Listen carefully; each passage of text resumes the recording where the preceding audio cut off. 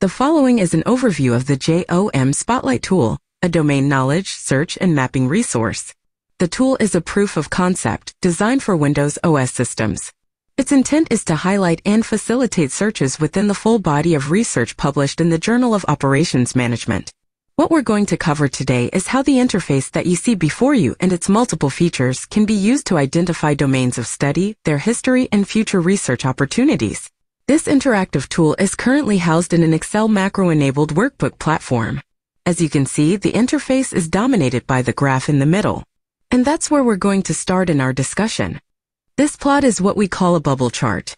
It is much like a scatterplot in that there are x values, in this case a range of years that we can modify, and y values which are also based on the user's choice. The individual points are papers. In any given view, the red bubble represents the focal article that has been selected, for which details are provided on the right panel. Purple articles are those that cite it, and orange articles are those that it cites. Again, all of this is currently deployed solely within the universe of the Journal of Operations Management. Let's look at some of these article details. As you'll see on the right panel, the Handfield 1993 article is titled, A Resource Dependence Perspective of Just-in-Time Purchasing. For a selected paper, the authors are listed along with their Scopus author IDs.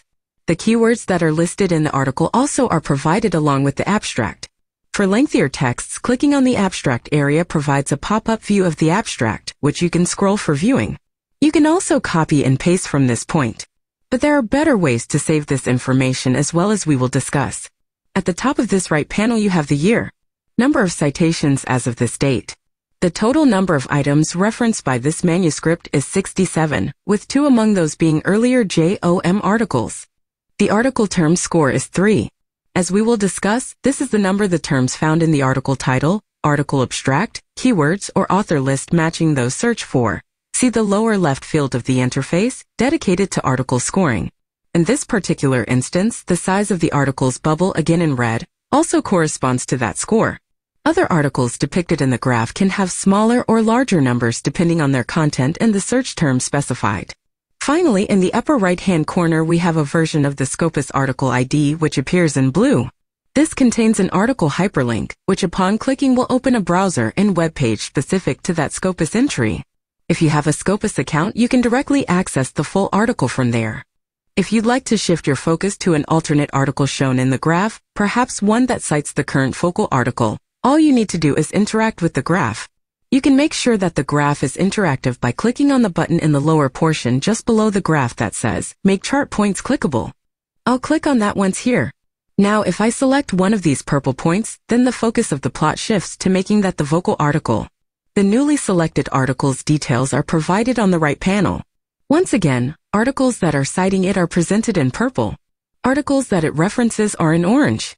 If I go back in time, so to speak, and select an earlier paper, then I will similarly be shifting the focal vantage point and the ego set of articles that either are cited or cite that focal article. Now we don't have to strictly select the items that are colored.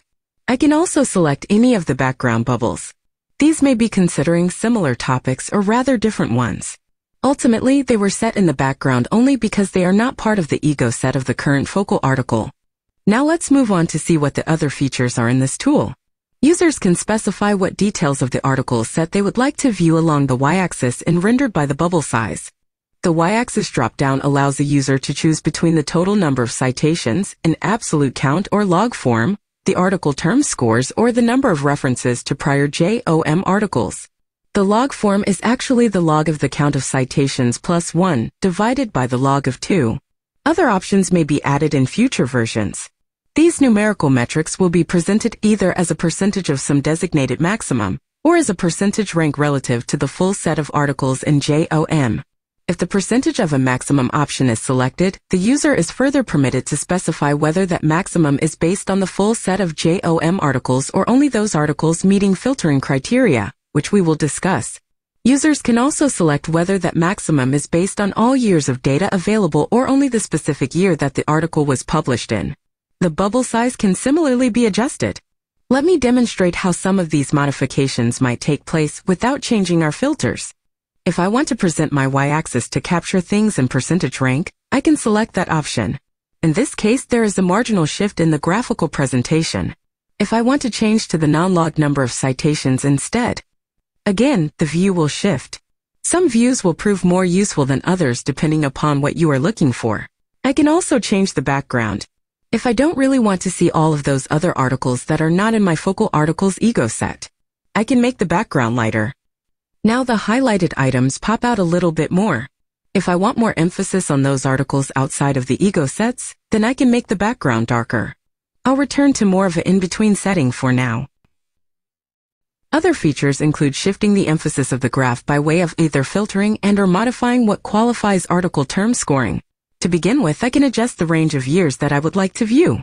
For example, I might only want to view articles that have been published after 1990. This effectively filters out all articles prior to that date. I can also filter out articles that do not contain a full set of specific terms in either their title, abstract, keywords, or author details, depending on my selection. I can specify those terms by typing them into the first field on the left and selecting where to look for these terms. Only articles that have all of these terms in one of the areas checked will remain in view. If nothing is checked, or if no term is provided in this field, then such filtering will not become active. Terms used in such filtering could be topics, methods, or author names or IDs. An alternative is to filter out articles that do not include at least one term in one of the article features listed. The second field on the left allows a user to specify which terms to look for. As long as one of these terms is found in either the title, abstract, keywords, or author information, if these areas are selected for search, an article will remain in the view. Keep in mind that each of these filtering techniques can filter out the focal article. The article will remain focal and its information will remain on the right panel. However, its red bubble will not appear in the field of the graph. Article scoring is the other mechanism available for distinguishing work specific to a topic or author of interest. Let's see how that works in practice. If I add additional terms like, let's say, markets to the lower left field in the interface, or even a partial term like mark, with the title, abstract, and keyword options selected, any articles with that additional term in these areas of search will see their scores increase by one. If it's an uncommon term, this might not be a massive change. Other instances, provided that either the y-axis or the bubble size is based on article term scores, the change might be more substantial. Finally, as I mentioned, there is also an option to keep records of things that you might have discovered in your examination. That is, perhaps you'd like to keep a record of the details of articles you've encountered for further reading. There's a quick way to get that done as well. At the bottom of the screen, we have several record copying options. You can hit Selection and the full details of the focal article will be recorded to a sheet called Records. We can view that. Here's the full reference in a kind of standard reference schema, along with the Scopus link. You can also record the details of the full ego sets of focal articles. That is, record all of the orange and the purple as well as the red items, regardless of whether they appear in the graph view. Furthermore, if you are filtering articles and your result is a subset of works that meet some search criteria but which don't necessarily reference each other, the recording of such a subset is also possible. Keep in mind that the larger the set, the longer recording will take.